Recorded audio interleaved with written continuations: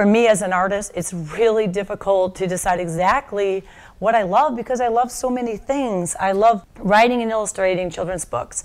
I love painting. Um, I have acrylic paintings all around here, bright, vibrant, colorful paintings, flowers, surreal paintings that kind of show experiences or emotion. I'm working on one for an art show right now. It's vibrant colors of the rainbow. I started doing more of this sort of could it be a flower? Is it the tail of a fish? Is it or what is it when I partook in a exhibit at the Center for the Arts and I picked Georgia O'Keeffe as my artist. And then this piece that I did in pottery is sort of an expression of that in clay. It has a lot of texture and color and it is really just a sculptural piece. The piece is really go well together. It gives you sort of a sense of the two-dimensional and the three-dimensional work with sort of the same concept or idea. I love doing mermaids. I have quite a large collection of mermaids that I've done over the past few years. Some of them are an individual, other ones are sort of a school of mermaids. Generally, most of my artwork will have a focal point of some kind of light or circle in the middle, and the mermaids are always sort of swimming in or out of that light. I love uh, three-dimensional art as well. This, this is my pottery and I love sculpting. I recently did a piece for the Center for the Arts for their ARF show, and that piece uh, just amused me so much. I, I love doing those little dogs. I feel very fortunate to have a multimedia studio. I absolutely love teaching and sharing that with students, giving them the opportunity to explore all the different mediums. Having the gallery here and the classes, they really do go together well. Oftentimes when I'm teaching and we have a question of a style or a technique or a medium, I can come into the gallery with students and show them concrete examples. Uh, it could be something in a paint technique or an idea or design or a, a pottery technique.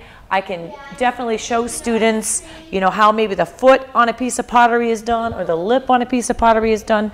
Different styles that will give them an opportunity to grow and advance their own work. And it's very nice to have those pieces that are done by, by professionals right at our fingertips.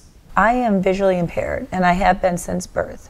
But art is such a huge part of my life. I, I don't know what I would do if, if I couldn't work on art pieces. And I've had people come to my studio who want to be able to enjoy the creative process and then others who have desired to come but haven't been able to. And until recently, when I completed even my ADA restroom, now it's made it easier for everybody. I think it's really important to have a barrier free studio because it allows me to provide a place where there is art for everyone. I've got a wheelchair accessible entrance in the rear of the building and although I find as an artist, you know, a, a tall table with a stool that's tall so it gives you the flexibility to get up and work or sit down while you're working or do both because most artists sort of move around their pieces.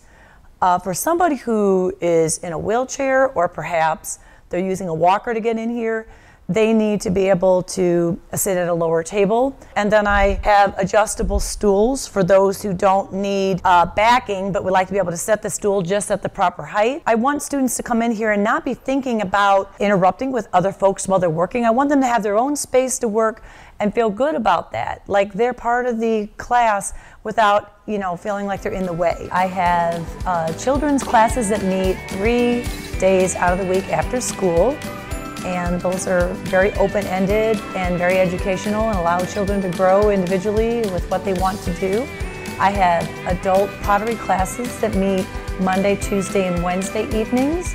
I do an adult pottery class on Wednesday mornings uh, from 10.30 to 12.30 and then I also do an adult painting class on Tuesday mornings.